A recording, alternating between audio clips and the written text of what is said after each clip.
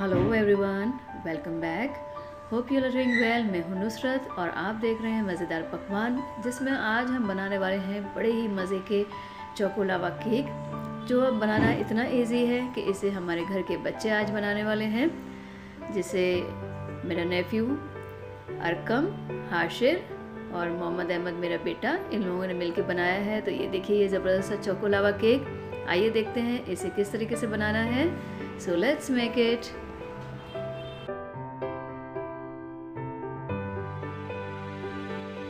आइए मैं आपको इंट्रोड्यूस करती हूँ हमारे घर के बच्चों से।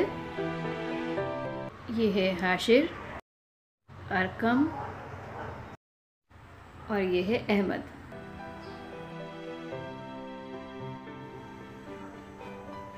ये हम लेंगे स्ट्रेनर में एक कप पाउडर शुगर है। अभी फ़िलहाल इसे अरकम बना रहा है।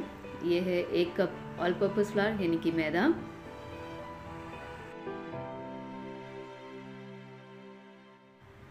4 tablespoon choco powder.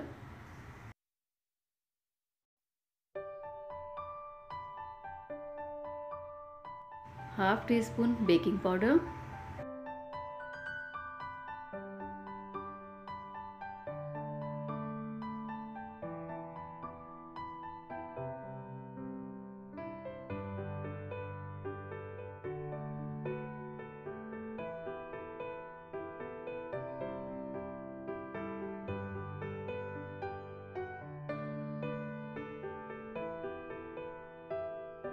अब इसमें थोड़ा थोड़ा करके हम मिल्क ऐड कर गए और इसे मिक्स करते जाएँगे।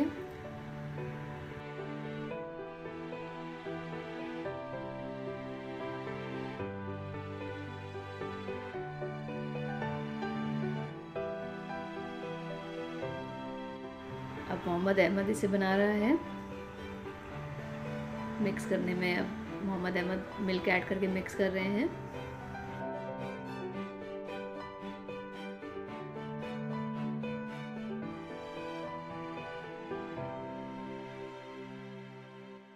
और अब इसे मिक्स कर रहे हैं Hashir.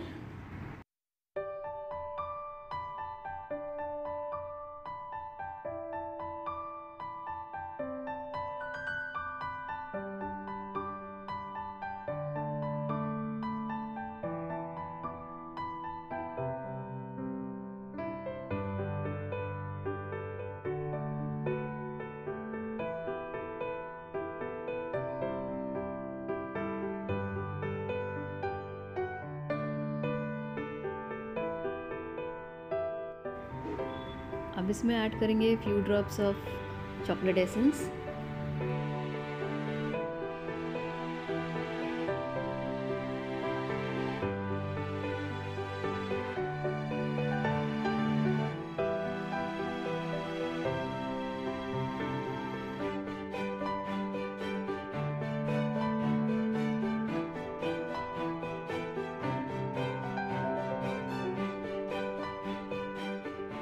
Arkham is enjoying a lot.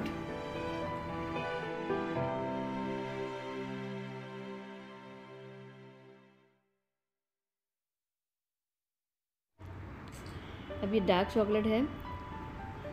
इसे मैंने इस तरीके से तवे पे रख के और फिर इस तरीके से रख के डबल बॉयलर जिस तरीके से होता है, उस तरीके से मैंने इसे मेल्ट कर ली थी, थोड़ा बटर डाल के। अब इसे बनाने आ गए हैं सुफियान।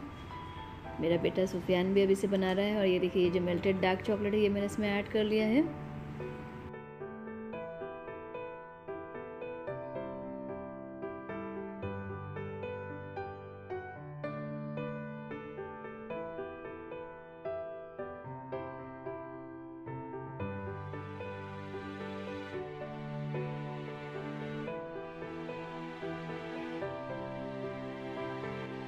अब ये देखिए, एक पैन में मैंने इस तरीके से सॉल्ट गरम कर ली थी प्री हीट कर ली थी। हम इसमें बनाएँगे, इस पैन में बनाएँगे हमारा चोको लावा केक अब इसमें एक स्टैंड रख के और इस तरीके से जो हमारा केक का मोल्ड है, वो हम इस तरीके से रख लेंगे उसमें। अच्छी तरीके से। अब इसे ढक देंगे। इसका जो एयर पास होने का जो होल था, वो भी मैंने इस तरीके से इसे क्लोज़ कर दिया है।